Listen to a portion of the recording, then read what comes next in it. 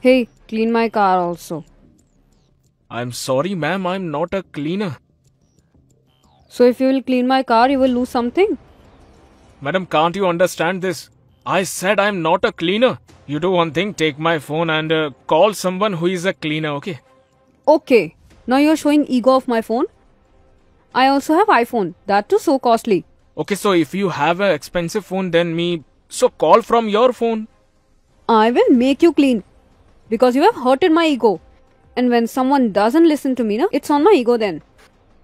Madam, why are you being so rude to me? I think I have to tell you that who I am. Okay, so tell me who you are. Hey, you don't know me. I'm standing here and will make you remember your whole family. What if afterwards you forget your own family? Do you know how rich I am? And you are arguing with me so much now. I will pluck your tongue and give it in your hands. You are so much rude. You don't even know how to talk to people. You see this building behind? It's mine.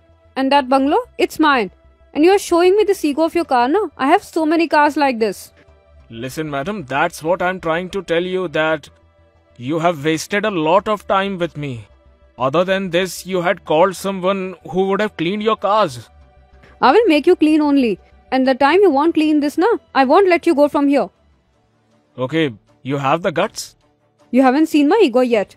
Feels like you are a villager. Hold it and clean it. Muskan, what are you doing this? He deserves this. Don't you know who is he? Who? You joined TVF company now, na? Yes. He is the CEO of there. With whom you are behaving so much rude. So then, why were you cleaning this car? Actually, I thought that there is so much dust on my car, so I should clean it myself. So, sir, you could call someone from office. They would have cleaned it. Pooja, for a small work, why should I bother someone else? And I was free. Sometimes I like to clean my own car, so I did it. Sir, actually. Fine. I know that what you will say. By the way, Pooja, do you know her? Yes, sir, I know her. She's my neighbor. But what happened here? Better ask your neighbor that what happened. Muskan, what is going on? Actually, I disrespected to him. I thought he's a car cleaner. It's limit, Muskan. You always fight in neighbors also. Right now you have joined the office. You should behave professional here.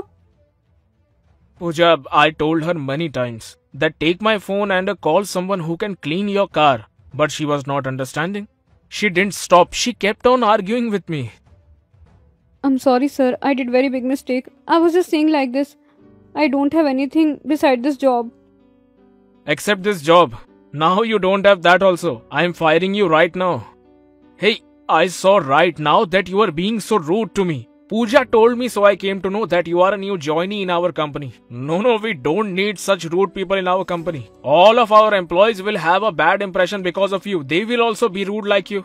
This would be good for us that you don't do this job. Now you are fired. From tomorrow, don't come here. Understood? Sir, please? Pooja, take her to the office, do all the formalities, give her a termination letter, and make sure she doesn't come back in our company. Okay, sir. Come, Muskan.